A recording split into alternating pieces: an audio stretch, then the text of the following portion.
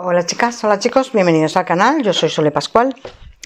Pues en el último vídeo os enseñé estos papeles de, de cartonaje, de encuadernación que compré en Crash by Julio Toledo y me habéis pedido que haga tutorial, que muchas no conocíais los papeles eh, de este tipo.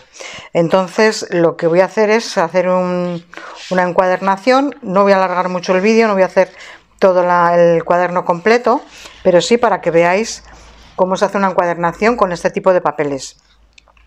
Voy a usar, es que no sé, es que me gustan todos. Igual, mira, el, el de las flores y las rosas, este francés, que este es muy bonito. Voy a usar este. Y luego, de restos de, de cartón que tengo por ahí, que estos tienen todos la misma medida, de alto tengo 18, pero bueno, esto usáis lo que tengáis por ahí, ¿eh? 18 por 12 y este es de 3,6 con, os digo que es un, un resto 3,6 y luego para hacer un, mini álbum o una libretita se puede hacer un cuaderno se puede hacer también bueno ya veré pero en principio la encuadernación es esta dos piezas de 12 por 18 y una pieza de 3,6 por 18 también entonces esto es una encuadernación con normal y corriente. El, tema de estos papeles es que no son transparentes como si fuera un papel de arroz, que tendríamos que, que pintar esto de blanco para ponerlo. Entonces, y luego por otro lado, este, la posición que tiene, hay que tenerla en cuenta, aunque tiene letras verticales, horizontales, mariposas por aquí, las flores por aquí, o sea que yo pondría el papel en esta posición. Así que le doy la vuelta y lo voy a ir planteando. Mira, más o menos. Esta va a ser la portada. Lo voy a... Si lo pongo aquí así... A ver. Quiero que me queden no muy centraditas, pero que se vean las mariposas estas. ¿Veis? Y lo que es toda la flor está. Entonces lo voy a poner aquí. Después pondría el lomo y después la, otra. Eh, esto, como siempre, como una encuadernación normal, echamos cola en el cartón. Sí que es verdad que hay que usar muy buenas colas porque las colas blancas que tienen demasiada agua, al final este papel lo nota porque es un papel que al final chupa agua y es, es delicadito, pero echando la cantidad justa, tampoco nos quedemos cortos, echando la cantidad justa y ahora lo voy a extender bien porque si no lo extiendo bien todas estas marcas se me pueden quedar. Entonces veis, con un pincel durito, duro, lo extiendo.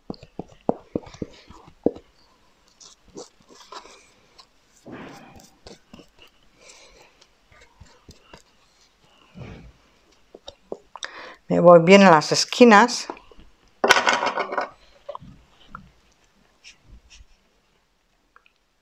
Y ahí lo planteo. Esto bueno va a ojo más o menos pero si queréis podéis poner una una regla para que os salga más recto. Por ejemplo aquí en la parte de abajo tengo la, la, anchura de la regla esta vale que serán unos 3 centímetros. Aquí es un poquito menos. Y si no podéis usar los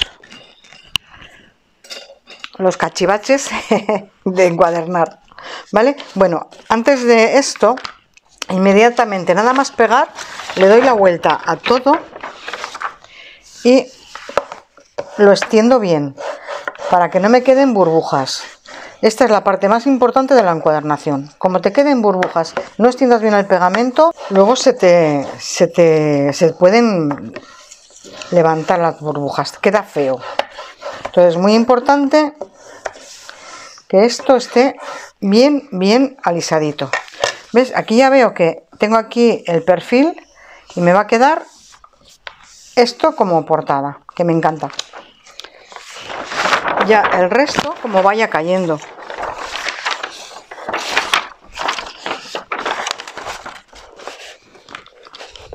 Me voy a ayudar de la de la regla esta. Y aquí lo mismo, hecho cola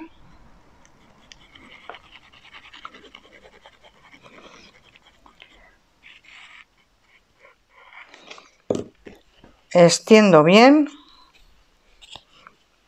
Pues si he hecho la cola justa al final el papel no se me va a curvar ni se me va a ondular ni se me va a humedecer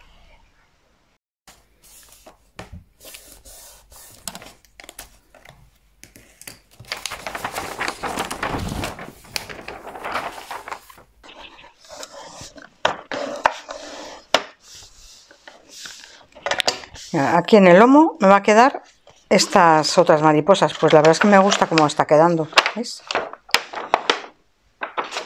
Va a quedar esta mariposita así en el lomo.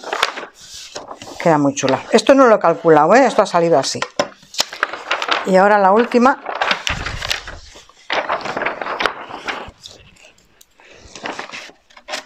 Pero sí que es importante, una vez dar la cola, extenderla bien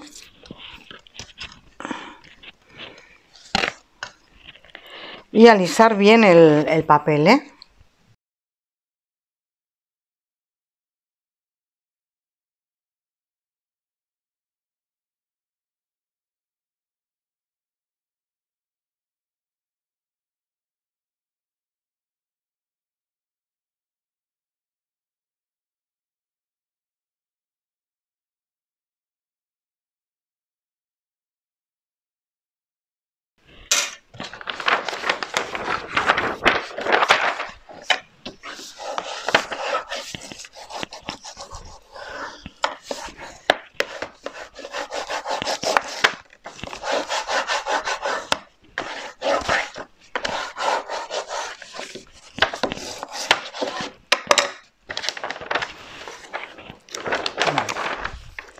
Una vez que lo tengo aquí, ya voy a cortarlo.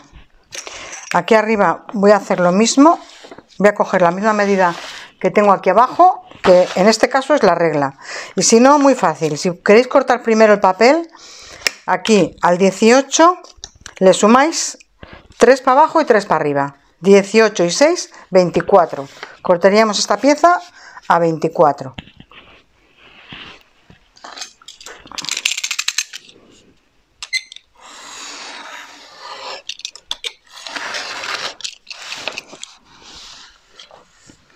Voy a cortarle toda la parte entera. Luego el interior se lo voy a lo voy a cubrir también con con el mismo papel digamos las contratapas.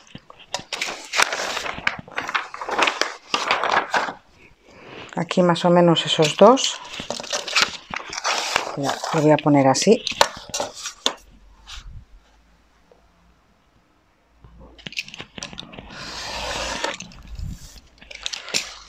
y para encuadernar pues, pues sin ningún misterio.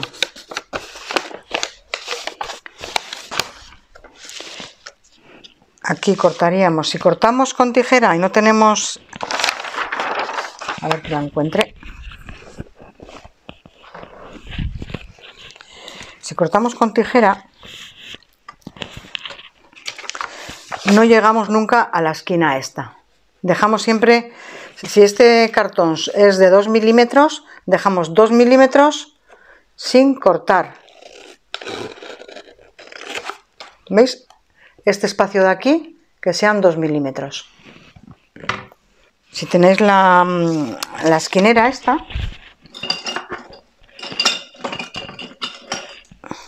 pues esto ya nos daría el margen de la parte que entra cortamos recto.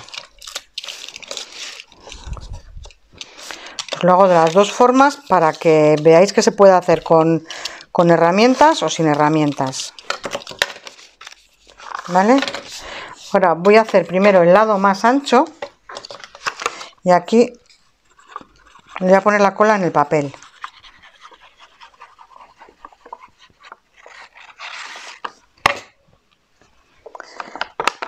y lo mismo extiendo un poco.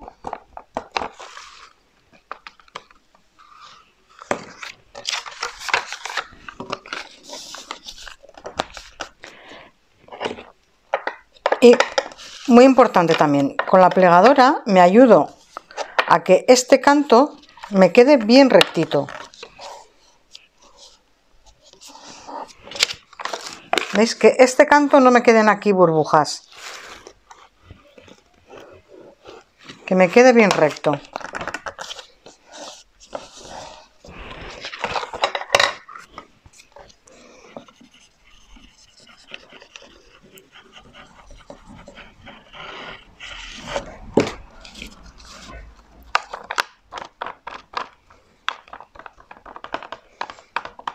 La cantidad de cola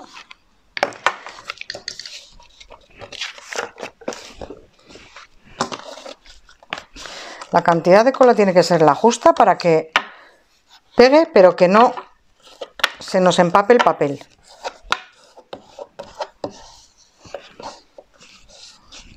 Ya veis que de momento no estoy hincando aquí. Aquí no me metáis la punta de, esto. A ver si, si lo veis bien. Aquí esta punta no la metáis. Dejar que quede ahí en el aire, ¿vale? Hay que dejar que seque esto bien. Ahora, estas puntas de aquí van hacia adentro y esta hacia adentro.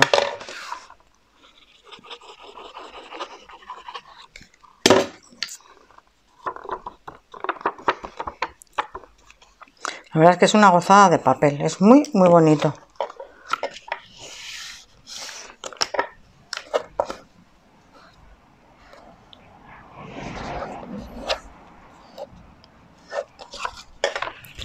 Aquí lo mismo, esta esquinita la empujamos, esta empujamos,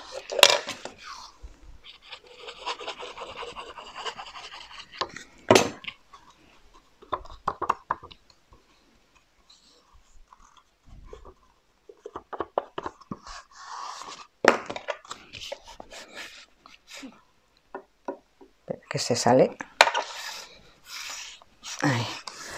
Importante que estos cantos nos queden también muy, muy bien definidos.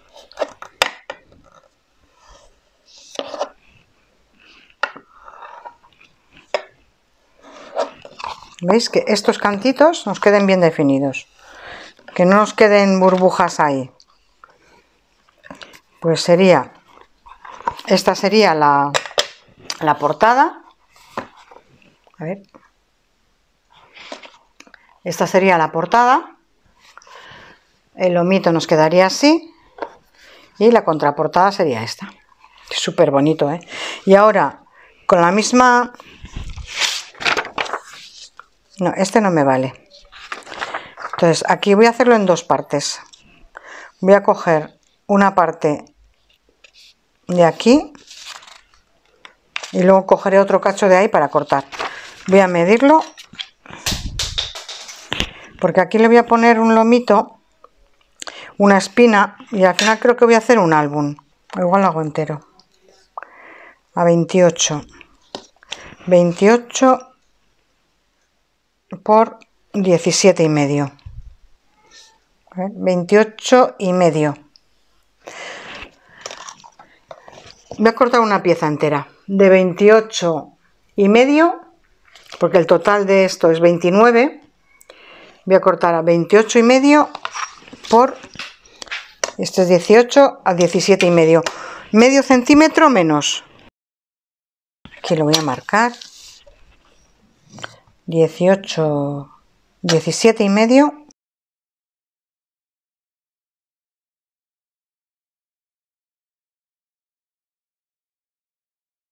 Luego con los otros restos seguramente puedo hacer un cuadernito para un cuadernito con hojas en blanco y puedo aprovecharlo para, para las tapas.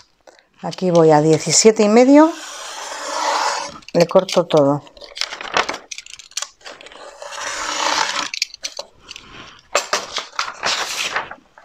Vale.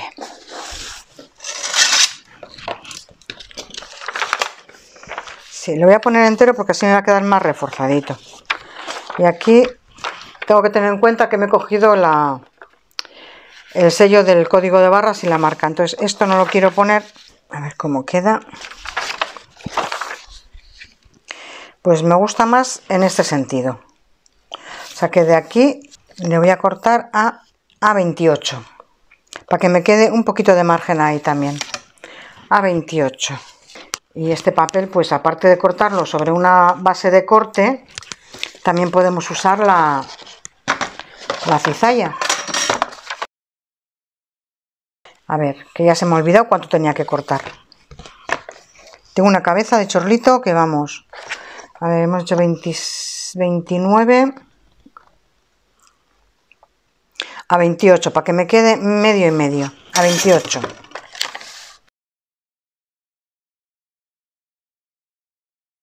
me aseguro de que esta es la portada para ponerlo como me ha gustado antes vale el pegamento se lo voy a poner aquí en el papel también ¿eh? porque como no me va a cubrir todo siempre se pone en la en la parte más pequeña. A mí me gusta hacerlo así por lo menos.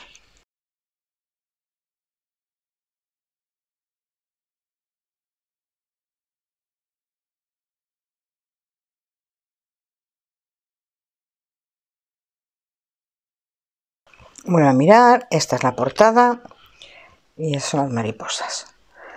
Lo centro pues de arriba y de abajo, aquí lo subo un poquito más.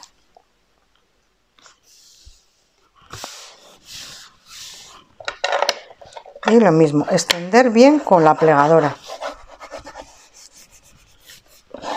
no clavo aquí no estoy clavando ¿eh? meto suave sin apretar demasiado